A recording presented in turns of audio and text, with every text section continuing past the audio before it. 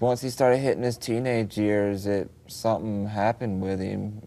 It everything just started changing after doctors started messing with his medicines here and there and changing them up and putting him on a different one and institutionalizing him multiple times to correct his medicine and it, it just escalated from there. He got into criminality. He became violent and dangerous. Ten times he was committed uh, for treatment uh, in mental health institutions. I believe all of them involuntarily, but by psychiatrists, by your parents, by whoever. Let's go through the escalation in his behavioral pattern. I think there was an incident in his mid teens when he tried to set fire to the family home with everyone inside. Um, yes, sir. We, there was approximately eight people in the house asleep at the time. Uh, I just, I say about an hour, hour and a half before I came home, I was laying in my bed trying to go to sleep. Uh, just started hearing this awful noise. I couldn't figure out what it was, so finally, whenever I walked outside my door, it sounded exactly like wood popping. And I went straight to the attic and discovered that the fire, well, the yeah, the fire was in the attic. And he'd set a fire up, up to, to put the house ablaze.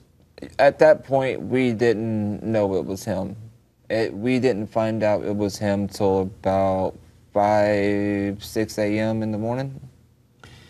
He also stood over your parents holding an axe, threatening Uh, them. It, it wasn't an axe. Um, at one point, my stepfather and mother ended up having to lock up every, like all the knives in the trunk of the car uh, just to protect, the, protect everybody in the home. Because he was threatening to use them.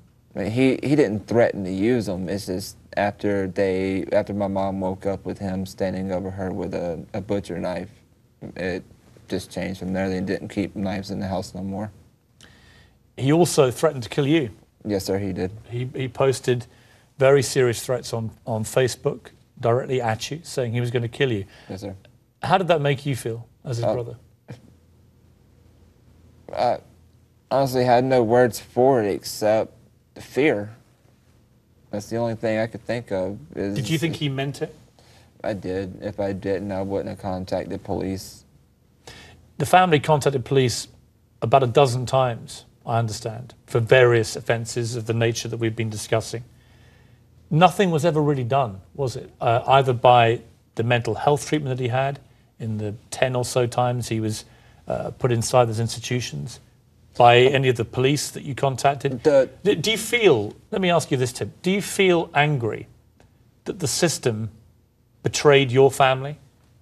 I'm I'm not angry. I feel like there's just a whole lot more they could have done. I feel like instead of people wanting, like, I'm gonna give an example. Uh, rich, famous people wanting to reach out to the victims of somebody when they really should be reaching out to people that have mental disorders and that can wind up doing something he did.